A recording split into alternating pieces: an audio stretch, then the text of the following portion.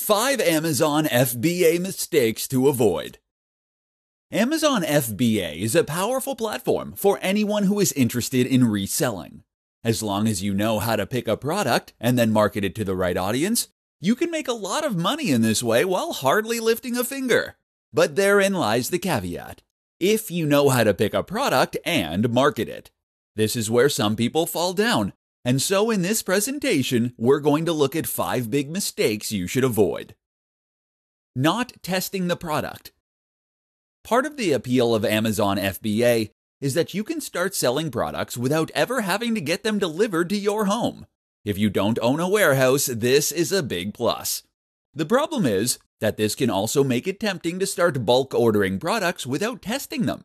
You can already see where that might go wrong. So don't give into impatience. Test the products before you invest. Not reading Amazon's guidelines or the wholesaler's terms. In order to sell a product via Amazon, certain requirements need to be met. For example, it's your job to ensure that the products are packaged and labeled when they arrive at the warehouse.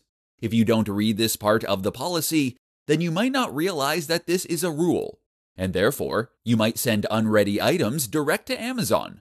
This can be an expensive, embarrassing, and messy problem to fix. Choosing fad products. Fidget spinners are massive, right? Why not order thousands of them? Because fads don't last, as any reseller who made the mistake that time around will know all too well. Inventory mismanagement.